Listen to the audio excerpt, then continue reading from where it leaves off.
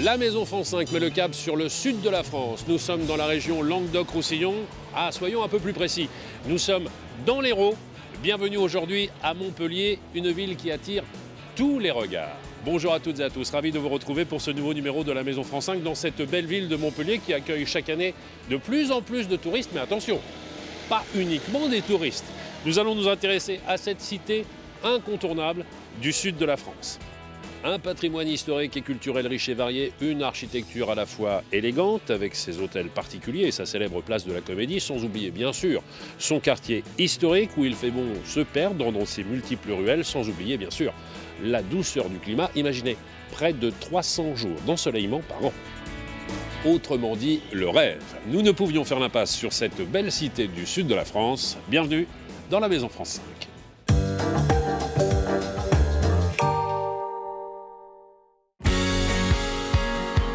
Comme chaque semaine, la Maison France 5 vous a concocté un programme varié avec au menu de belles rencontres. Nous allons faire la connaissance de Vincent. Lui et sa famille se sont installés dans un ancien couvent pour en faire une maison familiale. Ah, Dites-moi, ça ne s'improvise pas quand même. Dans cet espace, on avait environ 7-8 pièces très obscures. hein, C'est-à-dire que euh, toutes les ouvertures qu'il y a ici, elles n'existaient elles absolument n'existaient pas. On a complètement ouvert la maison sur le jardin pour amener de la lumière. Nous irons ensuite rendre une petite visite à Nathalie. Avec son mari, ils ont créé une maison d'hôte dans un bâtiment plutôt particulier. En fait, c'est un hôtel particulier qui date de 1777. On essaye de sentir et de ressentir ce qu'il y a au départ, hein, de faire rentrer toute la modernité et le confort du XXIe siècle dans des lieux finalement qui sont teintés euh, d'histoire. Et puis nous ne pouvions venir à Montpellier sans passer faire un petit coucou à Elisabeth Verdier. Nous sommes dans son showroom, un lieu assez unique dans la cité. Je voulais montrer des vêtements, des, des tableaux, des chapeaux, des- de tout. Et donc j'ai décidé de faire un concept store parce que c'était le, le terme qu'on utilisait pour ces magasins où on trouvait un peu de tout comme des general stores aux C'est la revue États-Unis. de A à Z finalement. Exactement. Mais tout de suite, j'ai rendez-vous avec Clotilde. m'a donné rendez-vous place Saint-Roch. C'est un des secteurs les plus dynamiques et courus de la vieille ville. C'est juste au-dessus.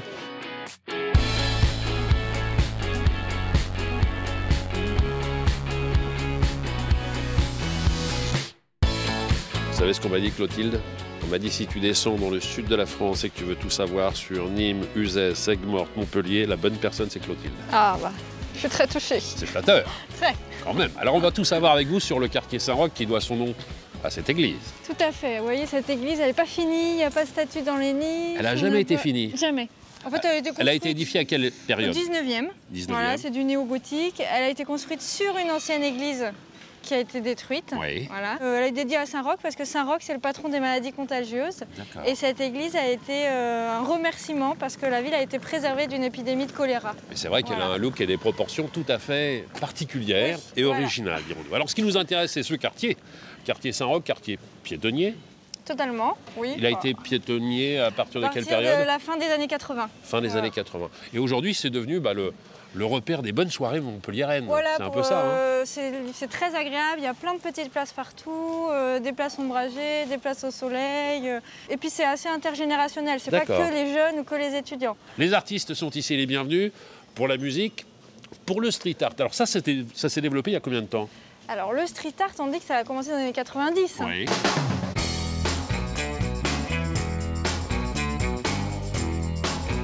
Toutes les villes veulent prendre, euh, veulent être les premières en street art. Bien Et sûr. donc Montpellier, euh, bah voilà, essaye de garder, euh, garder sa place parce qu'elle a une très bonne place. On a des, vraiment des artistes de renom qui sont venus faire des fresques ici, des Mais ça, graphes. c'est c'est encouragé aussi par la municipalité? Eh ben, en partie oui, parce qu'en fait, euh, par exemple, on est sur une zone de travaux juste derrière et le maire a inauguré une palissade qui a été graffée par des artistes hein, Ouais. de, de street art, donc ça a été voulu par la mairie.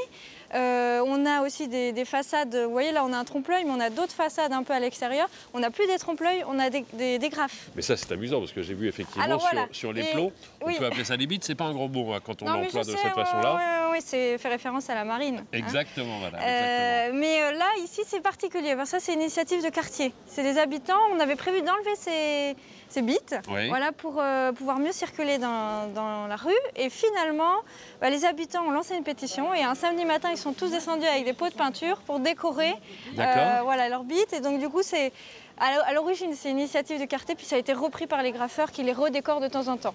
D'accord. Voilà. Mais Ça, c'est une, une bonne idée d'avoir conservé ça. Voilà. On m'a dit que la pétition s'appelait À chacun sa bite. Voilà, c'est ça, tout à bah, fait. écoutez, bah, c'était à bien fait. trouvé, Mmh, tout- ouais, tout oui, ça a bien marché. hein. Et alors, ce quartier, c'est sur combien de rues que ça joue euh, Plusieurs quand même. Une hein. dizaine, hein, je dirais. hein. Une dizaine de Ouais, rues bah, Voilà, bah, pff, en fait, vous avez des petites rues partout. Donc c'est ça qui, qui en fait le charme, parce qu'on avait des, des plus secrètes, des plus larges, des plus aérées, comme ici. Et autour de cette galerie à ciel ouvert, bah, il y a toujours des petites placettes comme ici où il fait bon se retrouver pour euh, soit prendre Oui, un verre, pour se restaurer. Et puis surtout, on a des vestiges médiévaux ici qui ont tous été placés. Vous avez les vestiges de, de l'ancienne église, justement. Et puis, euh, vous voyez aussi des belles façades classiques. On a un hôtel particulier euh, juste là. C'est assez Voilà. anarchique en ce qui concerne l'architecture des bâtiments. Il y a un petit peu tous les styles qui sont représentés ici. Il y a peut-être un, un fil conducteur qui est le matériau utilisé. C'est toujours Alors plus la ou moins la même pierre, pierre. c'est toujours la pierre calcaire qui vient de nos carrières, les carrières de Saint-Jean-de-Védas, enfin des alentours hein, de Montpellier, voilà. Et c'est une pierre très fragile, du coup c'est pour ça qu'il y a peu de décoration. C'est pas, on n'a pas des mascarons comme à Bordeaux par exemple. hein. Puis on n'avait pas de recul aussi. Il faut imaginer des petites rues médiévales toutes étroites qui ont été élargies. hein. Ces places n'existaient pas à l'époque. hein. Eh Bien ce que je disais en Voilà. tout début d'ent- d'entretien, c'est que vous connaissez la ville par cœur. Voilà, Pour les bonnes La adresses, c'est vous qu'il faut appeler. c'est ça. On est au cœur de la vieille ville. D'ici quelques instants, je vais changer de quartier, m'intéresser au quartier Boutonnet. Je vais faire la connaissance de Vincent là-bas, qui a restauré un bâtiment qui a toute une histoire. Il nous en parlera d'ici quelques instants. Mais nous allons pour l'heure retrouver nos deux architectes maison, Karine, Gaël, et découvrir le problème sur lequel elles vont devoir travailler aujourd'hui. Attention les filles, soyez bien concentrées. On retrouve Karine et Gaëlle dans le 11e arrondissement de Paris. Elles vont faire la connaissance de Susanna. Elle habite avec son mari David et leur petite fille Céleste dans un appartement flambant neuf, mais qui n'est pas encore totalement à leur goût.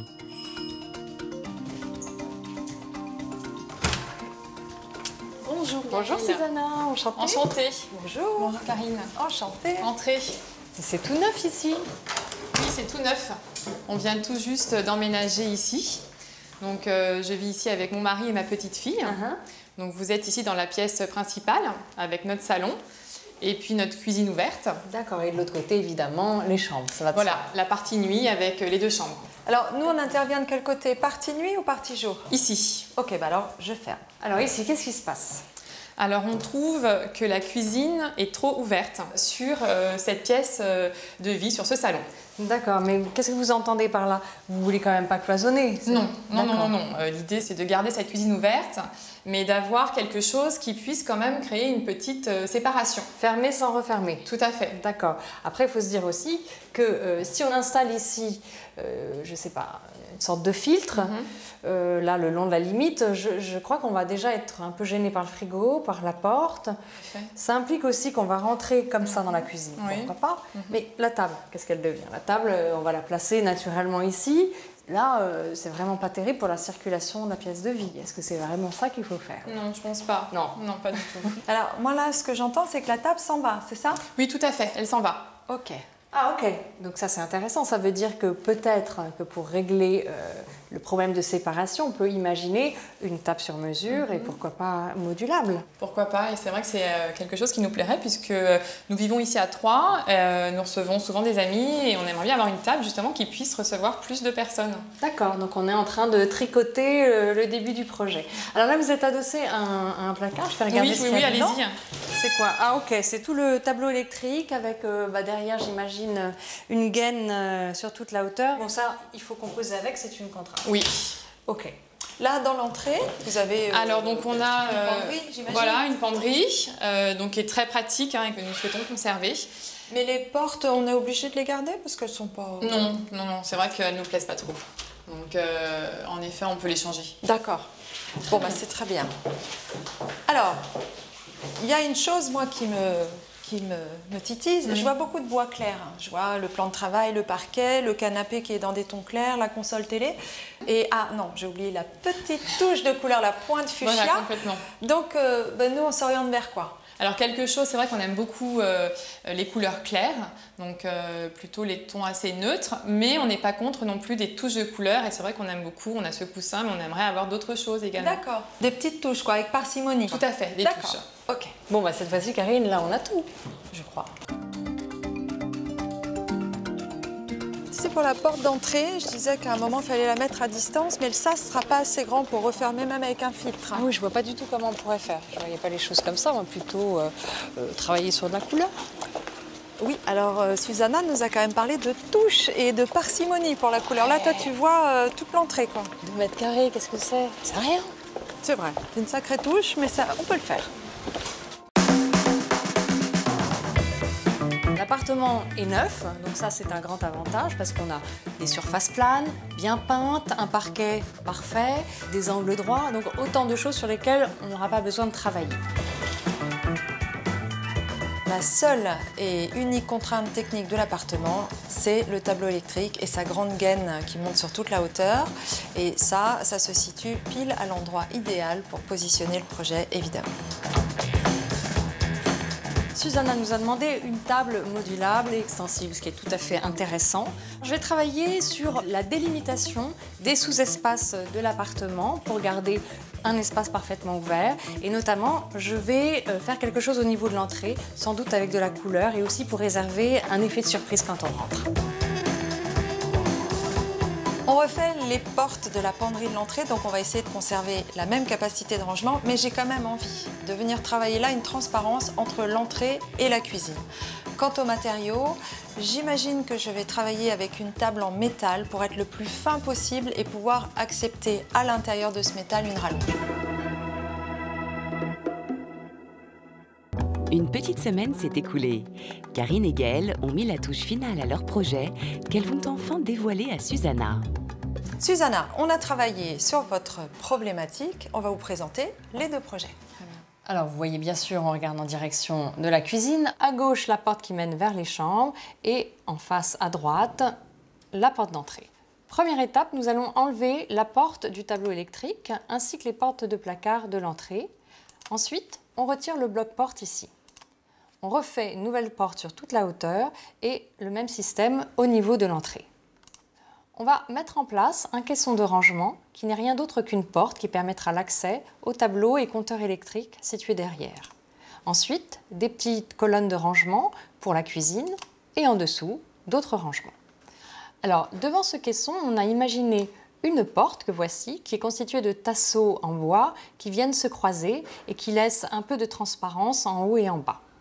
Et ici, dans cette petite cavité, vient s'installer la table sur mesure. Alors là, elle est en position euh, café le matin, et puis elle peut s'allonger un petit peu. Ça, c'est pour le repas, pour trois personnes. Et puis, en mode euh, réception, eh bien voilà, on a encore deux places de plus. On met en place les couleurs et les matières. On tourne un peu autour du projet. On va voir la table avec ses différentes longueurs. Et vous voyez qu'on a peint dans une couleur très foncée la séquence d'entrée pour faire un contraste entre l'entrée et le reste de l'appartement.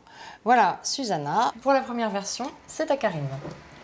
Alors ici, on est placé exactement comme au début de la version 1, c'est-à-dire qu'on a déjà enlevé ici ce qui était autour du tableau électrique. On enlève le bloc porte et ici les portes de la penderie parce que pour l'instant, tout ça n'est pas très qualitatif. Ensuite, on vient remettre une grande porte sur pivot et ici, on refera plus tard les portes de la penderie. Je poursuis le dessin des caissons hauts avec des caissons sur mesure au-dessus de votre cuisine. Là, on vient devant le tableau électrique créer un grand caisson creux avec un angle arrondi qui s'ouvre dans toute sa totalité, c'est-à-dire le caisson en entier pour laisser accès au tableau électrique. Et vous voyez qu'ici, on a laissé une niche à l'intérieur du caisson pour y ranger des chaises pliantes pour ensuite les mettre à table. Là, la petite niche sur laquelle viendra s'appuyer la table. Voilà, donc ici on vous a dessiné une table en métal avec un pied très fin complètement sur mesure et à l'intérieur on pourra voir la rallonge. Voilà, pour l'instant on met les couleurs et les matières et ici le système de rallonge donc voilà, on a pris les chaises pliantes que vous voyez au premier plan qui étaient rangées dans la niche et voilà, lorsque l'on sort, la rallonge en bois, cette fois-ci rangée dans le plateau métallique. Un autre point de vue depuis l'entrée où l'on voit ici le vide-poche qui traverse jusque dans la cuisine en passant derrière le tableau électrique. Et ici, le dernier point de vue, on voit donc l'arrivée du vide-poche dans la cuisine avec des rangements cette fois-ci dédiés à la cuisine. Et là, la table de repas est en position largement ouverte pour les copains. Alors, voilà, vous avez vu les deux projets. Bon, je sais que celui de Gaël est magnifique. Peut-être que celui-là remportera le suffrage. Vous avez besoin d'un petit peu de temps? Euh, Oui, laissez-moi un petit moment parce que le choix euh, est difficile. Ah ah, quel suspense quelle solution va choisir Susanna? Celle de Karine qui dessine une rallonge en bois extensible avec une niche ouverte sur l'entrée et la cuisine? Ou celle de Gaëlle qui préfère une table rabattable avec des rangements et une porte en tasseau de bois ajouré?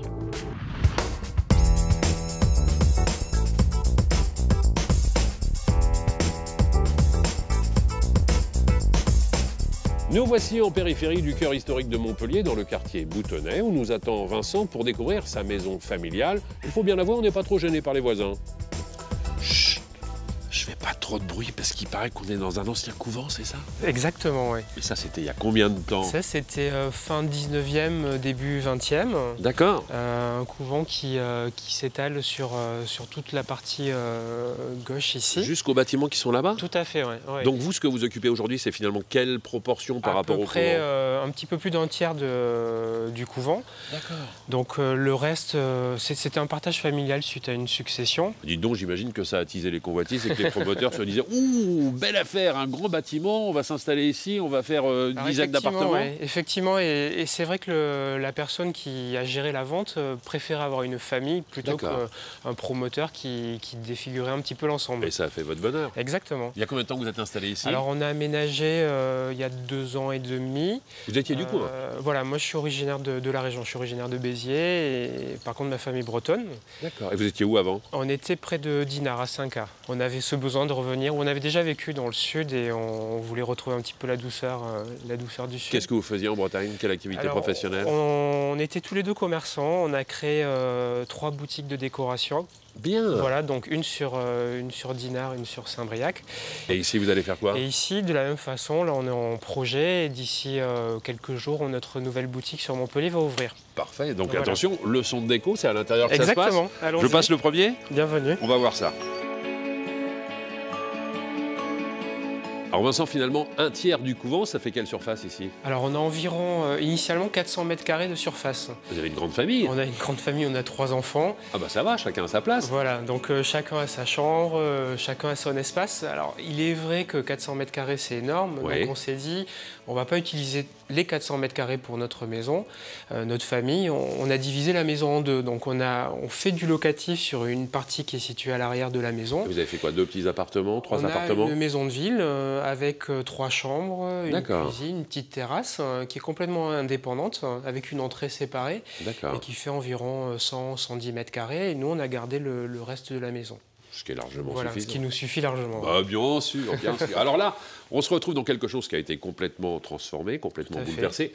Parlez-moi de l'origine. Il y avait combien de pièces dans, dans cet espace? Alors, dans cet espace, on avait environ 7-8 pièces. Hein. Ah C'était très cloisonné avec un mélange de patio, salle de bain, euh, chambre, salon très fermé, donc une ambiance très, très obscure. Hein. C'est-à-dire que toutes les ouvertures qu'il y a ici, elles n'existaient absolument n'existaient pas. On a créé euh, toutes les ouvertures. Euh, on a complètement ouvert la maison sur le jardin pour ramener de la lumière. Bien sûr. Une belle lumière parce qu'on est exposé nord, donc on n'a pas un soleil direct. Mais pour avoir quand même un, peu de soleil direct, on a créé une verrière sur le, la cuisine pour euh, éclairer par l'arrière. Ce ne sont pas des petits travaux quand même. Hein. Non, vous, avez fait appel à un architecte pour vous aider? Non, alors moi je suis ingénieur en bâtiment, donc c'est moi qui ah ai déposé le permis, qui fait le suivi du chantier. Et ma femme est décoratrice, donc l'alliance des deux euh, fait ce que vous voyez. Bah, c'est plutôt pas mal. Hein. Alors les parties prises en matière de décoration, c'est de la couleur. Alors on aime la couleur. On est assez influencé en ce moment par euh, tout ce qui tourne autour des bleus, bleu canard, comme vous le voyez. Mais on voilà, on n'aime pas avoir une maison aseptisée toute blanche. Et ça change assez régulièrement. Exactement. on change régulièrement les couleurs euh, au gré des, des saisons ou des envies. Alors ce que j'aime bien dans les maisons, c'est quand on garde les traces de ce qu'était la maison par le passé. Ça, c'est vraiment le mur d'origine. Alors, c'est le mur d'origine. Euh, Et ça, c'est vraiment de la pierre du ça, coin. Ça, c'est la pierre de Castries. Donc, Castries, c'est une ville qui est euh, un petit village qui est pas très loin de Montpellier. Et c'est une pierre qu'on va retrouver beaucoup dans, dans le centre-ville de Montpellier, les caves voûtées. Et donc, on, ça a été la bonne surprise. Quand on a fait les travaux, on a découvert un, petit morceau du mur et on l'a gratté, rejointé euh, sur les deux côtés. Superbe. Au sol, qu'est-ce que vous avez fait Alors c'est un béton euh, ciré euh, très légèrement crème. Donc grand espace ouvert maintenant pour accueillir toute la famille. Voilà. Et là encore une fois, la couleur est présente. y compris sur le papier peint que vous avez installé. J'ai pu le remarquer, hein, d'ici il y a des, petites perspectives et je le vois. À chaque fois, il y a un mur en papier peint, un autre mur avec de la couleur. C'est plus un jeu de matière. On ne s'est pas cantonné uniquement de la peinture. On a voulu euh, appuyer euh, les reliefs des murs avec euh, du papier peint. Voilà. On a une cuisine très moderne ici, tout inox, mais malgré tout, on a un plan de travail. C'est quoi C'est de la récupération Alors c'est de la récupération, c'est une, une, vieille porte qui a été euh, juste euh, revernie. Et les carreaux de ciment qui font un joli tapis sous la table? C'est ça, on a pris une petite réservation et intégré des, des carreaux de ciment sous, le, sous, la, sous la table. vous me le disiez, hein, vous êtes dans la déco depuis des années, je me disais bien qu'il allait avoir quelques belles idées à récupérer ici. Ouh Et c'est pas fini. Il y a plein d'autres choses que vous verrez sur les côtés, juste derrière vous, mais ça, c'est d'ici quelques instants. Avant cela, vous me le disiez, vous avez des enfants? Oui, trois enfants. Trois enfants? Donc vous n'êtes pas à l'abri du rangement? On le vit au quotidien. Eh oui, je sais ce que c'est. Il y en a toujours un petit peu partout. Tu as pensé à ranger tes chaussures, tu as pensé à ranger ton manteau. Comment trouver des astuces dans la maison pour que ce soit à peu près clean? On parle de rangement aujourd'hui, qu'il soit nomade, qu'il soit fixe, qu'il soit malin, qu'il soit ouvert, qu'il soit fermé. Il y en a pour tous les goûts et pour toutes les bourses. Quoi de mieux pour se motiver à ranger que de se munir d'objets beaux et bien pensés Panier en métal transformable ou mini-commode vide-poche adorable, casier en métal superposable ou range-revue façon table. Pour relooker son bureau, organiser sa salle de bain ou mettre de l'ordre dans toutes les pièces de la maison, un seul mot d'ordre, l'organisation. Et on commence par choisir ses rangements en fonction de leur matière. Alors en ce moment, dans le rangement, on va plébisciter des matières naturelles, comme le jonc de mer, et éventuellement associer à quelques couleurs plutôt pastel, plutôt douces. Et on va pouvoir les superposer, les associer entre eux pour réchauffer vraiment l'intérieur. Donc on a une autre tendance dans le rangement, des paniers en laine bouillie ou en feutrine. On a une marque euh, scandinave qui revisite euh, un modèle classique. L'a décliné dans différentes couleurs maintenant pour s'adapter encore mieux au mobilier qu'on a actuellement. Pour amener de la couleur dans sa déco, on peut aussi associer des paniers en coton aux motifs panachés ou plus inattendus, des sacs en papier. On peut avoir donc des matières très inattendues aussi, comme du papier craft. Et l'avantage, c'est que euh, le côté un peu humoristique des dessins ou des mots qui peuvent apparaître dessus vont apporter un peu de ludique dans une chambre d'enfant. Autre matière idéale pour le rangement, le métal. Donc on a une autre grande tendance en décoration en ce moment, c'est tout ce qui est euh, éléments filaires. On a une série de paniers très astucieux dans lesquels euh, on peut donc ranger euh, textiles, euh, jouets, jeux de société, puisque par-dessus on peut ajouter une surface plane qui va servir donc de table basse.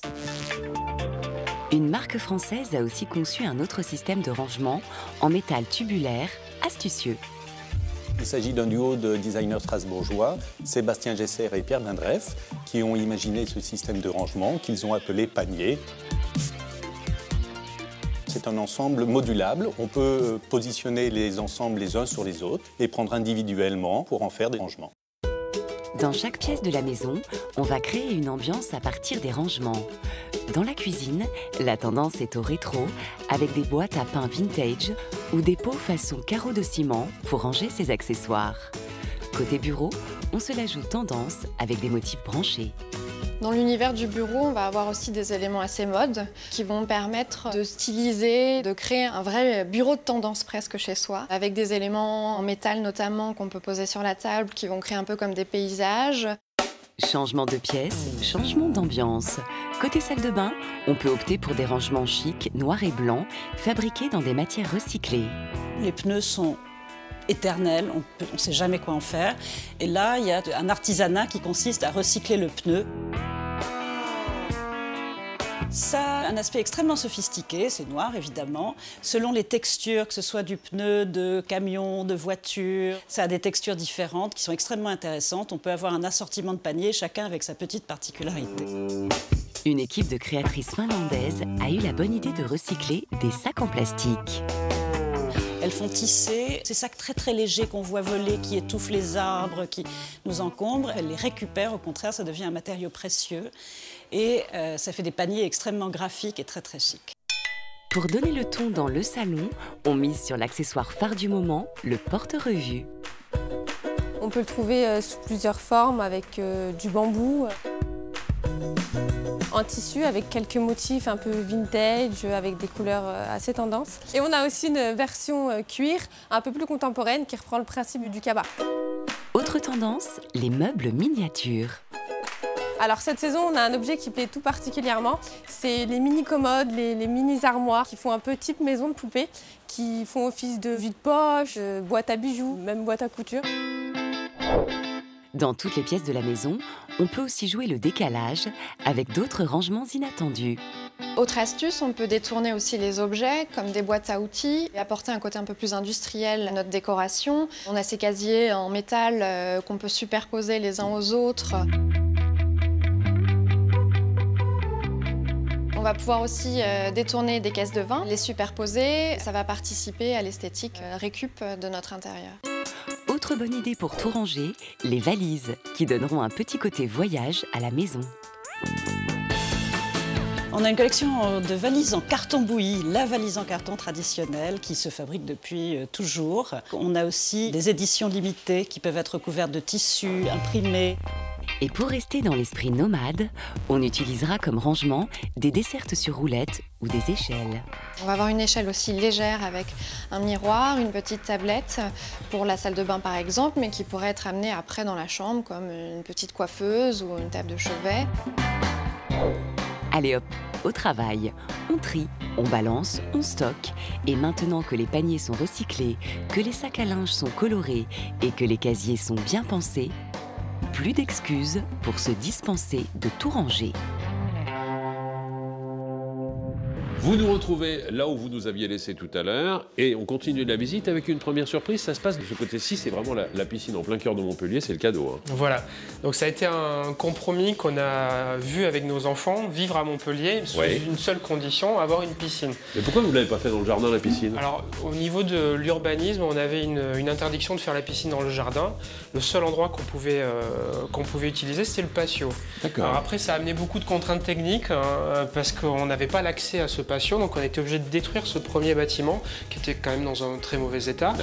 Rentrer une pelleteuse, creuser et préparer la piscine, ressortir et recréer le bâtiment. Et reconstruire de ce côté-ci. Exactement. Intégralement toute cette partie-là. Alors, j'ai bien compris, hein, le couvent était là-bas. Ça, c'était la continuité du couvent aussi? Alors, ça, c'était la continuité. Alors, dans le patio, il y avait un ancien poulailler euh, qui, était sur le, fond du patio.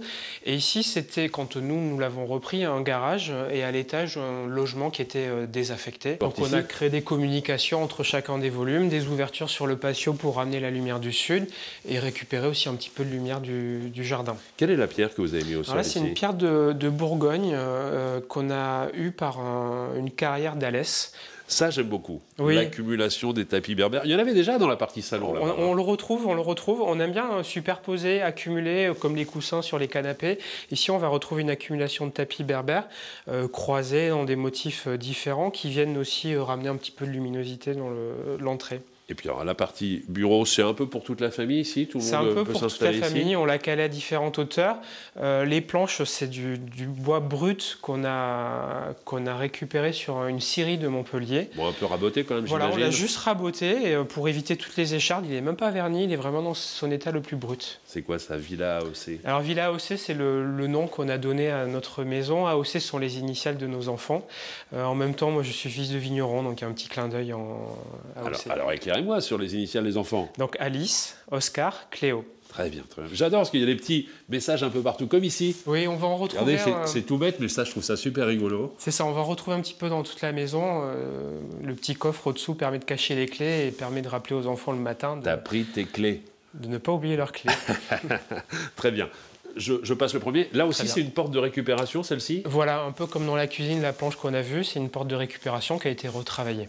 D'accord. Et puis, votre chambre à vous, avec, euh, s'il vous plaît, quand même, vue et accès direct à la piscine. C'est-à-dire que le matin, vous vous posez la question de savoir est-ce que je profite directement de la piscine ou est-ce que je passe par la case salle de bain? Voilà, on peut accéder directement, c'est très agréable. Puis une fois qu'on a ouvert les baies, on, on est vraiment intérieur-extérieur. Ça, c'est très plaisant. Et puis alors, la bonne idée, c'est d'avoir fait rentrer là aussi la lumière dans la salle de bain. Vous étiez à l'aveugle autrement. Oui, c'est une pièce qui est assez profonde, donc euh, on n'aime pas trop les salles de bain borgnes, euh, vu qu'on n'avait pas de fenêtre.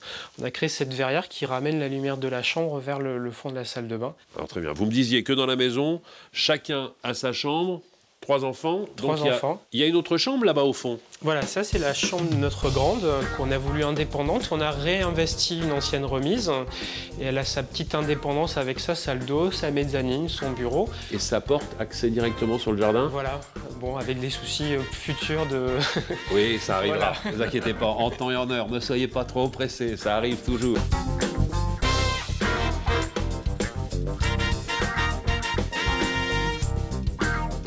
Et à l'étage, il y a encore, On a encore deux, chambres, c'est ça des, plus petits, ouais. Pour que chacun puisse être installé. Et alors moi, je suis assez étonné par une chose, ce sont les proportions des chambres. Je les trouve plutôt assez spacieuses. On se dit toujours dans le sud de la France, on fait des petites chambres parce qu'on passe beaucoup plus de temps à l'extérieur. Mais là, ici, vous avez fait ce qu'il fallait quand même. Oui, on a, privilégié l'espace des enfants. Ils avaient été habitués sur une précédente maison à avoir des chambres assez confortables. Donc là, on avait un grand plateau de 60 mètres carrés, on l'a tout simplement coupé en deux, 30 mètres carrés chacun. Avec Vous les aviez mal habitués, c'est ça? C'est ça, exactement. Alors j'ai compris, hein. il y a deux filles et il y a un garçon. On va aller voir la chambre du garçon. On va chez le garçon. Il a quel âge lui? Oscar a 11 ans. Oscar a 11 ans. Il vient de rentrer au collège. Ah mais là je vois qu'effectivement il y a différentes passions qui s'illustrent à travers les, éléments. Il y a les jeux vidéo juste derrière moi, il y a la guitare électrique, il y a le skate. Ah, c'est vraiment des passions de, de mec, hein, de son âge, euh, passionné de BMX, de guitare électrique. Et ça change d'une année à l'autre, c'est ça bon, Son seul, euh, seule activité qu'il conserve vraiment, c'est le BMX. Il adore ça. Après, bon, il se teste un petit peu. Et puis les études, forcément. Et les études, oui, les études, on le c'est quelque chose qui le passionne. Bravo en tout cas pour ce que vous avez fait ici. Ben, ça a pris combien de temps les différentes tranches de travaux? Alors, sur notre habitation à nous, on a été assez rapide parce qu'on voulait vraiment aménager euh, très vite. Donc, on a pris six mois de travaux. Par contre, la partie locative, euh, vu qu'on était rentré dans une maison, on était un peu moins pressé, on a mis un an sur la partie locative, même si elle est un peu plus petite. Mais ici, six mois. Bon, et maintenant, tout est fait. Vous allez pouvoir vous consacrer véritablement à votre boutique de déco. Voilà, qui, ouvre dans les prochaines semaines Deux, trois jours, oui, tout à fait. Très bien. On viendra pour l'inauguration Oui, avec plaisir. Pourquoi pas, avec grand plaisir. On va continuer notre promenade dans Montpellier. D'ici quelques instants, je vais faire la connaissance de Nathalie. Alors, elle et son mari ont acheté un hôtel particulier dans le centre historique de Montpellier et l'ont transformé en maison d'hôte plutôt haut de gamme, avec un service tip-top. Mais pour l'heure, on va s'intéresser encore une fois à une rénovation, quelque chose d'assez atypique. Nous sommes dans une ancienne caserne de pompiers, un appartement de 26 mètres carrés, mais qui a toutes les fonctions d'un grand appartement. C'est ce qu'on appelle une belle réussite. Montreuil, en région parisienne. Au dernier étage de cette caserne réhabilitée, l'architecte Gwenaël Maurice est intervenu pour réagencer entièrement ce petit espace. Le souhait de Jeanne, la propriétaire, réunir le plus de fonctionnalités possible. Je voulais qu'on puisse, dans l'entrée, déjà se sentir dans une véritable entrée euh, d'un appartement qui pourrait faire éventuellement 40 mètres carrés. L'idée, c'était de pouvoir avoir un dressing qui soit accessible dès l'entrée, euh, pour qu'on puisse ranger facilement ses affaires. Et puis, je voulais aussi qu'on puisse bénéficier d'une transparence dès l'entrée, c'est-à-dire qu'on puisse deviner le reste de l'espace sans non plus tout voir, donc un effet de mise en scène, et en même temps de ramener de la transparence et de la lumière dans l'entrée. On arrive dans cette grande pièce à vivre. Comme Jeanne voulait euh, pouvoir avoir euh, de quoi recevoir ses invités, j'ai choisi de mettre un grand canapé d'angle euh, qu'on a choisi ensemble, qui permettait, une fois déplié, de pouvoir recevoir du monde. Et puis, bah, j'ai des proportions à peu près carrées pour cette pièce, qui représente un petit peu moins de la moitié de la surface de l'appartement. Véritable atout de l'appartement, les entrées de lumière. Gwenaëlle Maurice a su en tirer le meilleur parti. Une fois qu'on est installé dans le canapé, on bénéficie des deux fenêtres. Euh, et ça, c'est important pour moi parce que l'appartement est très bien orienté. Euh, et donc, ça permettait de pouvoir euh, avoir la sensation d'être dans un espace qui soit plus grand. Si le salon est assez classique et confortable, c'est en face que se situe la pièce maîtresse du projet. Alors là, on se trouve face au cube qui est visible depuis tout l'appartement et qui est l'élément qui a structuré tout le projet. Alors l'idée, c'était d'avoir une structure légère, donc j'ai construit le cube en bois du médium, assemblé, on a une partie mezzanine et puis on a aussi une partie de cloison et après on a des modules. L'idée c'était de partir euh, d'éléments standards du commerce, donc la dimension du matelas et les caissons en fait, qui composent le cube, euh, et à partir de ces modules du commerce, de concevoir un élément qui soit sur mesure.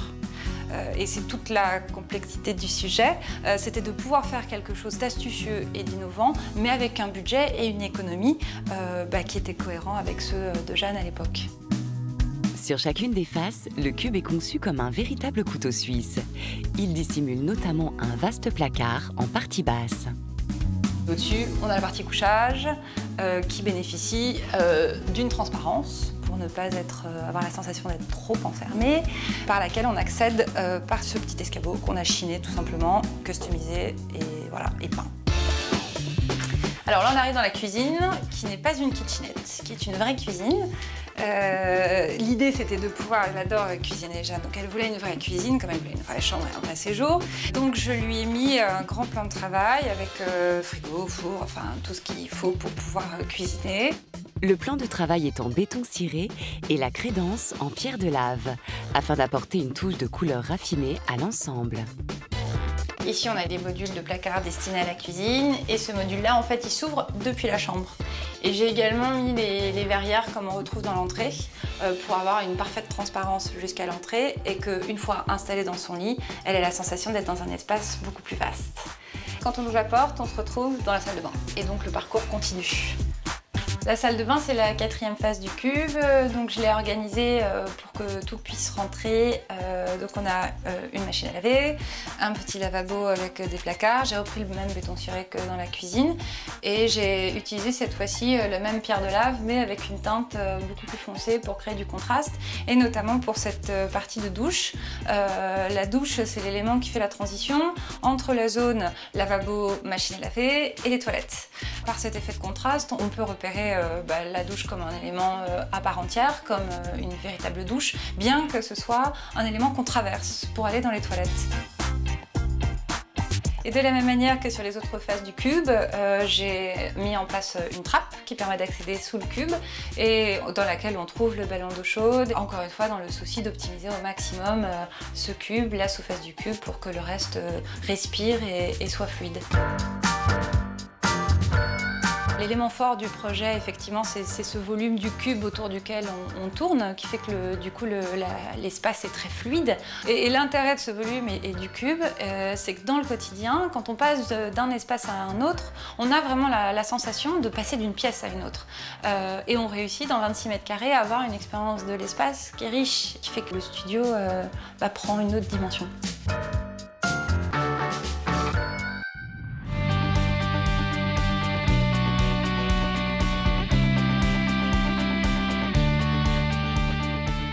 Nous quittons la place de la Comédie, nous remontons le long du jardin du Champ de Mars et nous arrivons dans le cœur historique de la ville. C'est là que vit Nathalie. Attention, une page d'histoire va s'ouvrir.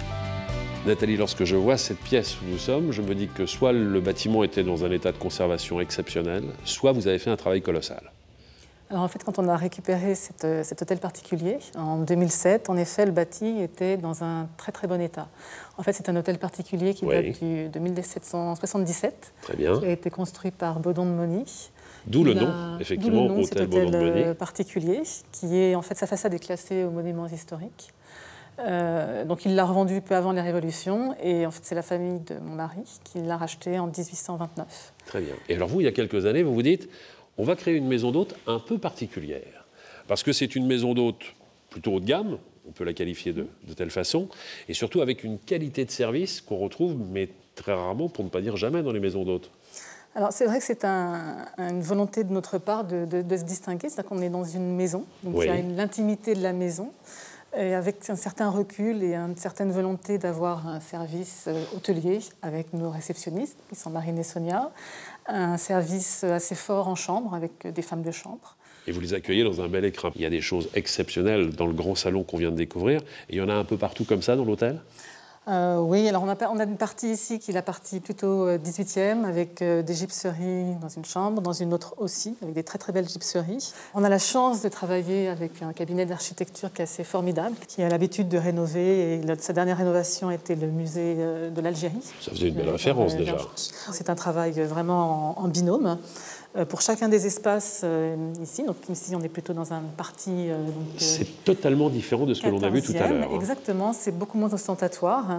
Euh, c'est une partie euh, qui est euh, une partie la plus ancienne en fait, de Montpellier, 13e, 14e. Et l'idée en fait ici, ça a été de persévérer, de continuer cet îlot de lumière en créant une verrière, mais toutes les chambres qui, sont, qui sont attenantes en fait euh, devait se reconcentrer sur cet îlot avec euh, comme euh, en fait, inspiration le Japon et, l'Islande. C'est beaucoup plus monacal, beaucoup plus zen en même temps dans l'esprit, hein, ce que vous avez réalisé ici. Beaucoup plus zen parce que le lieu finalement s'y prêtait. prêtait complètement. Alors, je suis assez curieux, mais j'ai envie de voir ce qu'est cette pièce.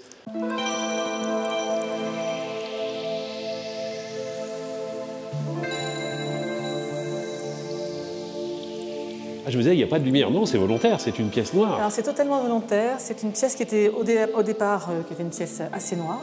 De la même façon qu'on travaillait euh, en fait au, 18e avec des artistes qui faisaient des gypseries, on a voulu faire travailler une artiste qui travaille aussi des matériaux qui sont propres aussi à cet espace 18e.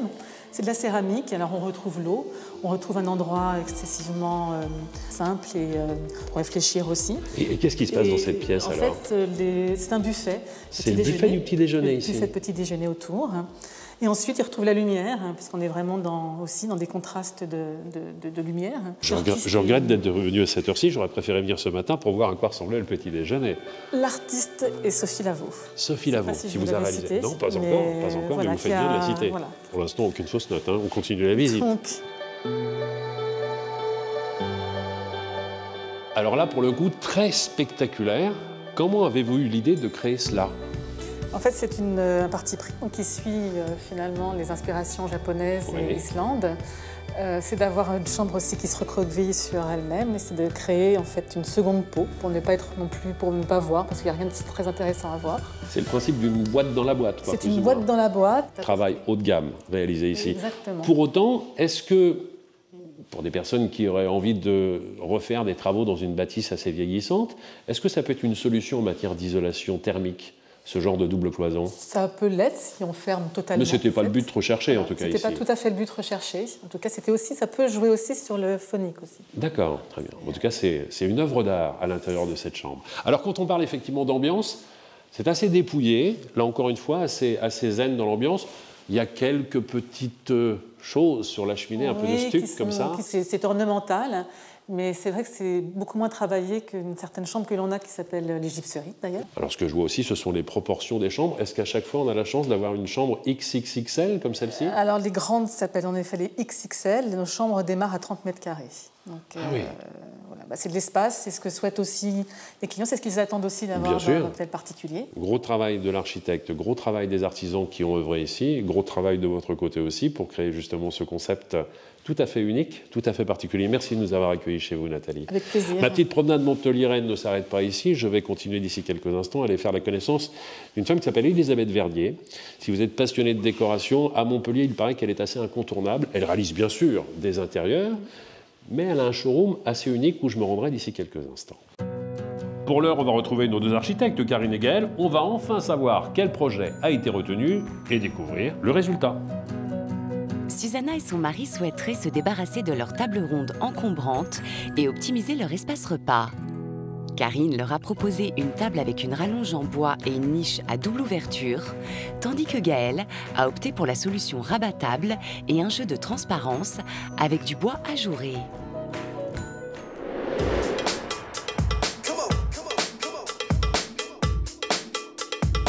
Alors, Susanna, vous avez vu une implantation euh, pour les deux projets, mais deux dessins quand même différents. Qu'est-ce que vous avez choisi? En effet, donc, euh, nous avons choisi la version numéro 1 pour la bonne raison que vous avez réussi à mettre à distance euh, l'entrée et également à nous intégrer une table extensible. Et ben voilà, c'est parti. Oh, ça va. Hein.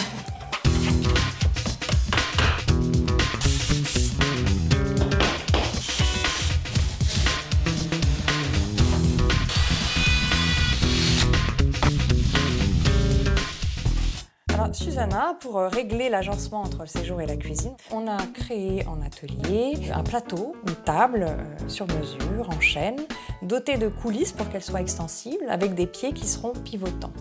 On a fait fabriquer également des caissons pour, euh, pour la cuisine et également une grande porte sur mesure, sur pivot, sur toute la hauteur pour remplacer celle qui existait auparavant entre la chambre et le séjour. l'on voit le système de, de pivot. Voilà. Ensuite, cette porte a été placée euh, chez vous et peinte sur place.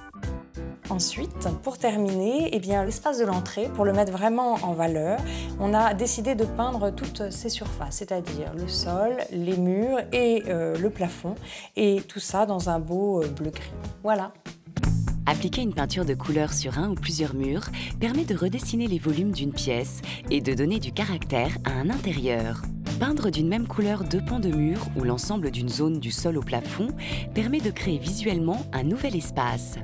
Le choix de la teinte est fonction de l'effet recherché. Une couleur foncée a tendance à absorber la clarté et à créer un effet de profondeur, alors qu'une couleur claire va renvoyer la lumière et donc couvrir visuellement l'espace. Enfin, attention à la mise en peinture. La couleur ayant tendance à faire ressortir les défauts, il est indispensable de l'appliquer sur un support parfaitement propre et lisse.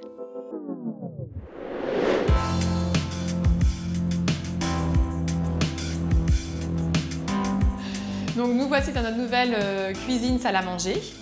Avant, nous avions ici une table euh, ronde qui n'était pas très pratique, qui bloquait l'espace.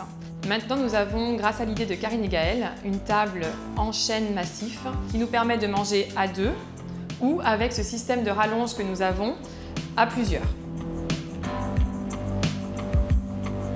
Ce qui est super donc, dans le projet, c'est euh, ce travail qui a été fait sur cette porte avec ces lattes de bois nous avons également ces niches qui sont creuses et qui donnent également de la légèreté à l'ensemble. Nous souhaitions plus de rangement, donc c'est chose faite.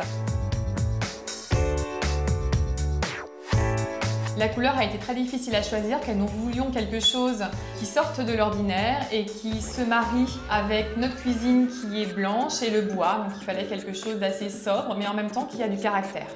Nous avons également choisi d'appliquer cette couleur au sol. Cela permet de mettre à distance ce hall d'entrée. Auparavant, nous avions ici une porte avec une poignée qui s'ouvrait vers la cuisine et qui bloquait l'espace. Maintenant, nous avons ici une porte toute hauteur qui est beaucoup plus jolie et qui est très pratique puisque nous pouvons l'ouvrir des deux côtés. Cette réalisation répond complètement à toutes nos attentes.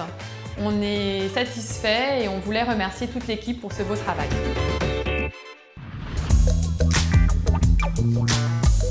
Quittons le cœur historique de Montpellier, prenons un peu de distance et rendons-nous chez Elisabeth Verdier. C'est une référence lorsque l'on parle de décoration ici dans la cité et vous allez comprendre pourquoi.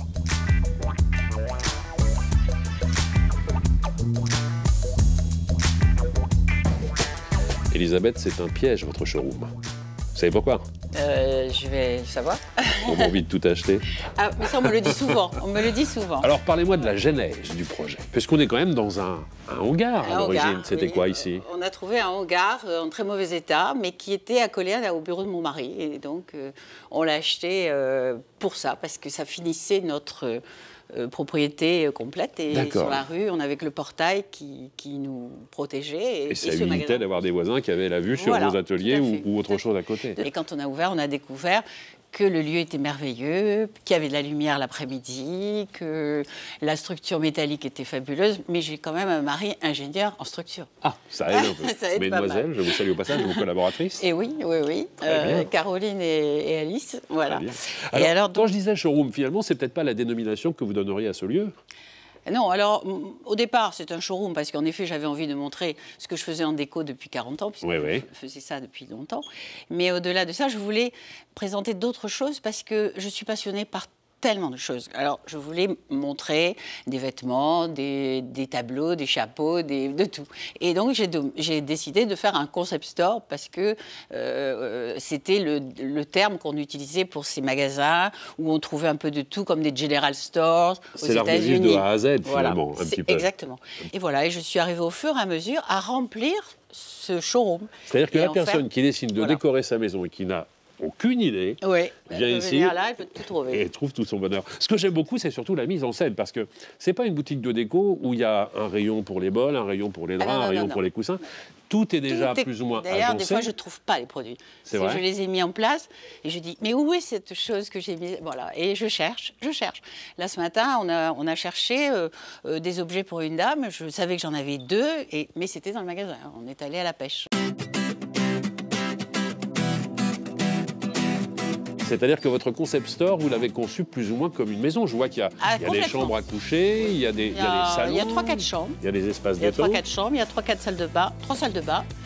Euh, en face aussi, dans le concept store enfant aussi. Alors si, je reviens dans la structure bâtiment, ce qui est le métier de votre mari, il a fallu également penser ce hangar comme une maison avec euh, peut-être des patios, des, des, ouvertures, Alors, on toutes a les fenêtres qui sont pensé ici. Une lumière. C'est ça. Voilà. Donc là, euh, ces murs ont été abattus et on a gardé que les structures métalliques. Et ensuite, on a remonté les murs de briquettes à, la main et donc de façon assez artisanale.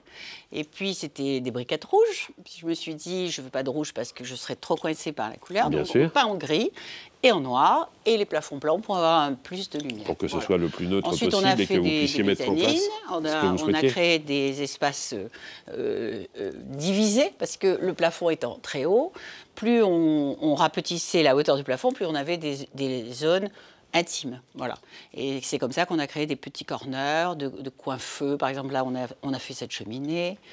Euh, qui fonctionne d'ailleurs, qu'on ne peut pas marcher tous les jours, mais qui fonctionne. Combien de temps pour que le, le projet aboutisse finalement à, à ce qu'il est aujourd'hui Euh, Je dirais deux ans de construction générale et d'installation. C'est pas qu'on tâtonne, c'est qu'effectivement on peaufine, on améliore Ah au fur et à mesure. oui. quoi. Oui, et puis on ne voulait pas aller trop vite non plus, parce que c'est dans notre nature déjà. Et au résultat, le final nous plaît Et vous séduit plaît, toujours. euh, et plaît aussi Et vous séduit toujours. Voilà. On a vu les salons, Voilà, on a on a vu les créé petits chambres. patios aussi pour avoir de la lumière dans, dans le fond du magasin. Et on arrive donc dans l'espace euh, Salle à cuisine, manger, salle à manger, euh, bar. Donc, on a envie de s'installer voilà. chez vous ici. hein. On a envie de s'installer avec des c'est vrai amis ce que vous dites, parce que quand je fais par exemple un, un apéritif euh, autour d'un vernissage, D'accord. je suis obligée de pousser les gens dehors. Voilà, parce qu'ils ne Ils ils trop plus envie de partir. Alors, Ils vous dites s'installent au bar. Voilà. vernissage, vous organisez régulièrement des expos On ici avec l'organise des à peu près toutes les 5-6 semaines. En, hiver, en été, bon, on, on finit l'été en juin, on recommence en septembre-octobre. Et puis, ça dépend des artistes qu'on a à présenter. En sillonnant finalement Oui. le showroom Oui. ou l'espace ou le concept store, tout ce que vous voulez dire par rapport à cela, j'ai pu regarder quelques matériaux. Il y a beaucoup de raffia, de rotin, de bois. Est-ce que ça correspond à une tendance ou c'est ce que recherchent aujourd'hui les habitants de Montpellier? Non, c'est pas lié à Montpellier. Je pense que tout, tout ce qui est, euh, tout ce qui est naturel plaît énormément en ce moment. D'abord parce que ça apporte beaucoup de chaleur dans les maisons. Ça enlève le côté classique. Parce que même des fois, des luminaires comme ceux-là euh, euh, s'in- s'intègrent dans une maison, euh, euh, dans un appartement haussmannien. Donc, il n'y a pas de souci d'intégration de ces matériaux-là. Et ça, ça rend les intérieurs extrêmement chaleureux. Donc, on hésiter, part du bois et on va vers les pailles, vers tout ça. Et puis, ça vient de partout. plus, Et il faut que la décoration nous amuse à l'intérieur d'une maison. Merci de nous avoir Ah. Accueillis chez vous en tout Eh cas. ben, j'étais ravie. On va continuer à sillonner la région et faire la connaissance d'une artiste. Mhm. Elle s'appelle Frédéric Demergue. Elle est installée à Lunel, pas très loin d'ici. Mhm. Sa spécialité, le mobilier contemporain avec des incrustations de métaux. On parle de bronze, on parle de cuivre, on parle de laiton, avec une technique qui n'appartient qu'à elle. L'artisanat d'art, c'est quelque chose qui n'est pas concret, qui est dans la tête, dans les gestes, dans une envie, et tout d'un coup, paf, il y a quelque chose de concret qui se construit. Et c'est vrai qu'autour de moi, ben, j'ai toujours eu euh, des choses à malaxer, de la pâte à pétrir, euh, de la peinture à étaler sur les murs, euh, des colorants à mélanger parce que mon grand-père faisait ces mixtures, ma grand-mère qui prenait un bout de chiffon et puis elle vous sortait une robe absolument extraordinaire de princesse, forcément. Et ouais, je crois que c'est un mix peut-être de tout ça. Je crois que c'est ça.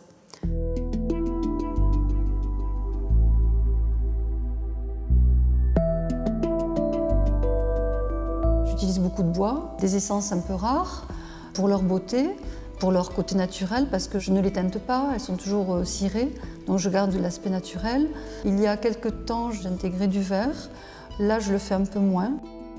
Le métal, bon, bah, c'est quand même quelque chose d'original, le métal, hein, c'est important. Il y a beaucoup de force. Mais ce métal, je ne l'utilise pas uniquement d'une manière brute. J'essaie toujours de l'adoucir, de l'estomper, de détourner cette matière. Et au niveau des formes, je vais rester sur des formes assez droites, assez sobres, pour au contraire amener de la richesse sur les matériaux. Et c'est peut-être... alors certaines personnes retrouvent des formes de la période art déco dans mon travail.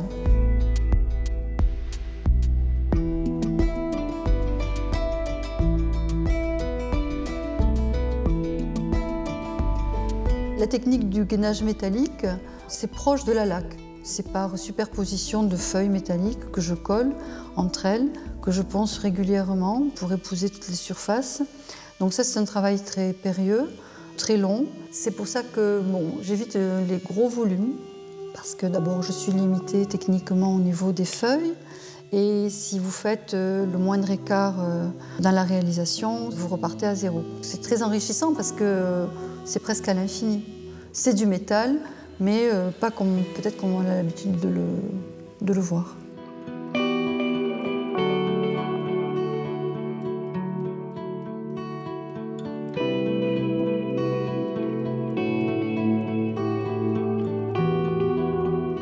Je pense que le style d'Omergue euh, est là.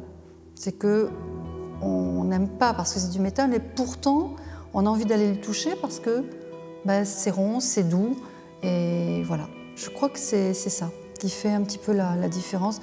En tout cas, c'est le ressenti des gens.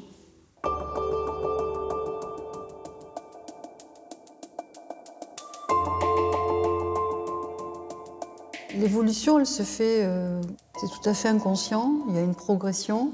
C'est-à-dire qu'à force de chercher des finitions intéressantes hors du commun pour euh, les exploiter sur le mobilier, j'ai pris conscience que euh, il y avait peut-être un travail euh, plus artistique à exploiter. Et je dois dire que mon rapport au travail change. Lorsque je fais un tableau et lorsque je réalise un meuble, les techniques restent les mêmes, mais l'inspiration et la gestuelle est tout autre, ce qui permet beaucoup plus de liberté.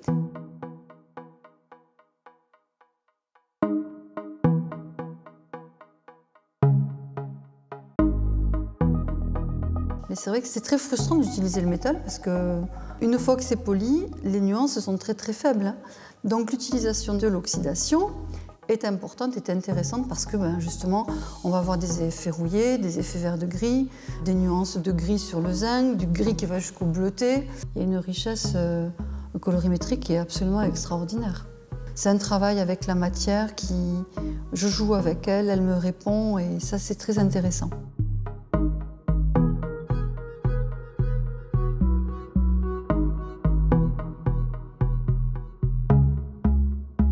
Contact physique, le côté sensuel, euh, pour moi c'est indispensable. Sinon il y a une dimension qui n'est pas là.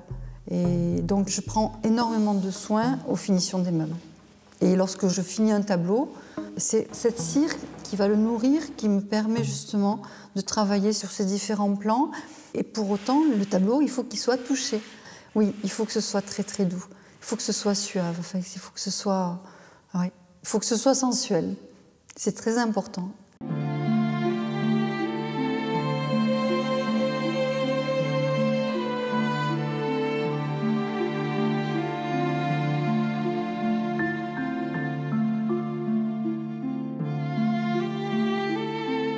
Abouti dans le mobilier, c'est une œuvre qui va bien fonctionner en termes de quincaillerie, de design, d'équilibre du meuble. Et dans les tableaux, une œuvre aboutie, c'est justement faire abstraction de toute cette rigueur pour vraiment laisser les choses aller. C'est quand justement on arrive au juste équilibre entre là où moi j'ai envie d'aller et là où la matière me laisse entrer, jusqu'où elle peut me laisser entrer. Je crois que ce que j'aimerais, c'est que les gens un jour se disent, avec tant de rigueur, parce que c'est vraiment très rigoureux, au niveau technique, elle a réussi à nous faire euh, rêver et transporter dans des paysages euh, lointains et oniriques, et avec beaucoup de poésie. Ah oui, la poésie, ça c'est important.